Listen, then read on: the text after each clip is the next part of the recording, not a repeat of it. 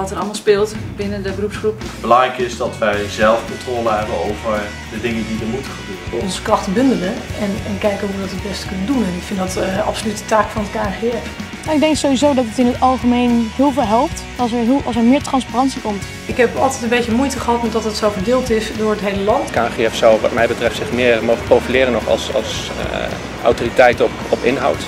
Wat voor, wat voor een plek neemt, neemt fysiotherapie uh, in eigenlijk in de samenleving? Dus ik denk dat de vereniging aan modernisering toe is.